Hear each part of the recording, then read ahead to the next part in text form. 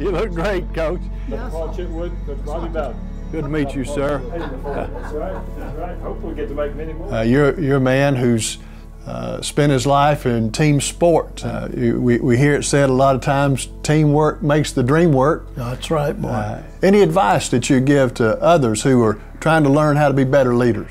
Number one, they need to set an example. I'm not going to ask my coaches and players will do something that I, I, that I wouldn't do. Then I think you need to study the Bible real hard and be sure you're doing it God's way, you know, and get on those knees a lot.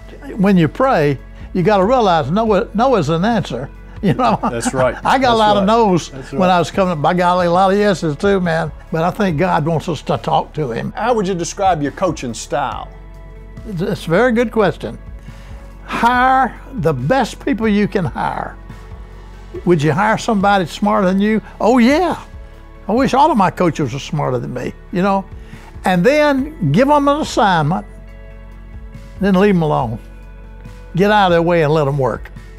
Well, you, you spent your life working with students. Say students starting college right now. What advice would you give them? Yes, you, you've got to be very particular who you run around with. You have got to be selective on your friends. And then don't forget what your mom and them taught you back home. That's good. Go to church Sunday. Set that alarm clock and get up. Well, what would you give in terms of advice to someone who's wrapping up college? When you're looking at, if you're not sure what you're going to do, I would do a lot of praying. I would ask God, God, where do you want me to go? You know, I'm, I'm willing to go wherever you say, you know, and ask God to lead you. What was the greatest source of satisfaction from your coaching career? It's seeing how these boys did.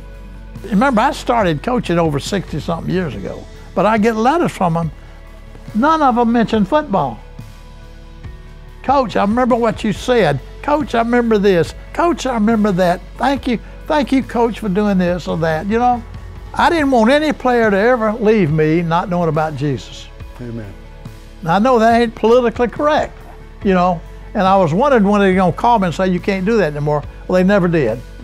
So I kept preaching to them. Well, thank you for uh, uh, using the platform that the Lord gave you to show people what really could fill up that empty spot that we all have inside. Oh, yeah. And, and, and sharing the Lord with them. Is winning everything? Well, let me, that's a good question. The importance of winning is not everything. But if you don't win, they're going to fire you.